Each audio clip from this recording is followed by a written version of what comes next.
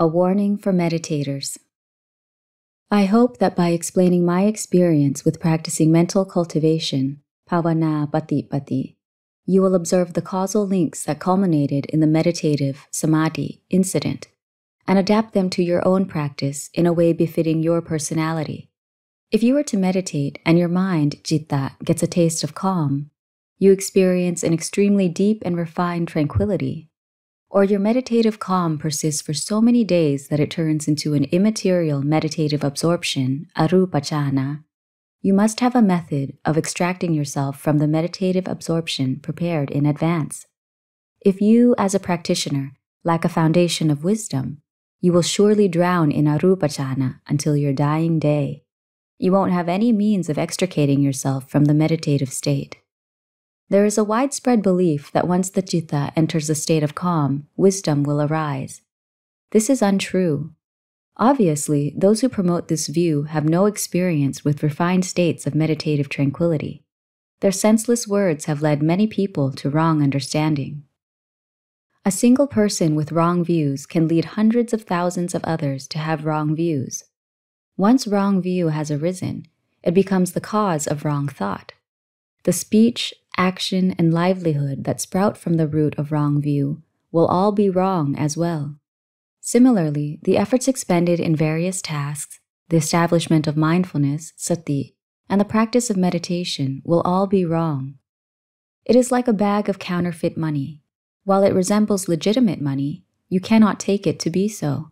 Fake money will always be fake. Likewise, as long as wrong views lurk deep in your mind, your mind will forever have wrong views, micha titi. Consequently, it will be difficult to reform yourself. Your foolishness and irrationality will unwittingly develop into wrong views, micha titi. Because you mistakenly believe your wrong views to be right views, you will encounter many problems. Thus, I wish to impart this food for thought for the determined practitioners out there. Use your discretion wisely and in a way befitting your resolve to walk in the footsteps of the Buddha and the many holy ones, Ariya Puggala. You must study the historical accounts of the holy ones so that you understand how they each started their practice. What methods, ubaya, did they employ that led them to the universal truth, Satchadhamma? You must adopt and tailor your views to those methods in order to develop sammatiti, or views that are correct and righteous. These right views will be the platform upon which other right views congregate.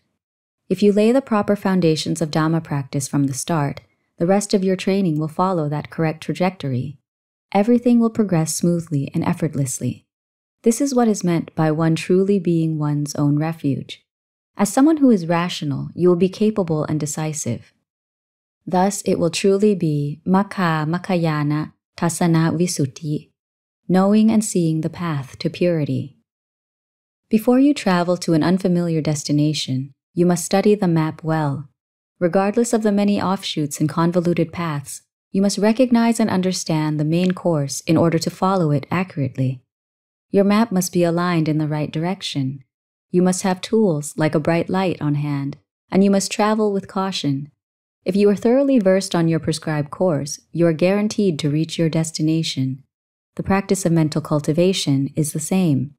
Practitioners must study and understand the principles of samadhi, or wisdom aligned with the truth, because this is where practice begins.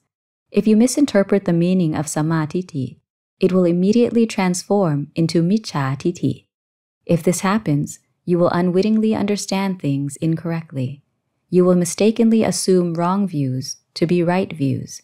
Your practice will immediately encounter problems your desire to attain enlightenment will be left unfulfilled. Thus, before you dive into practice, you must be fully prepared with mindfulness, wisdom, faith, and effort. Wisdom is the mind's light.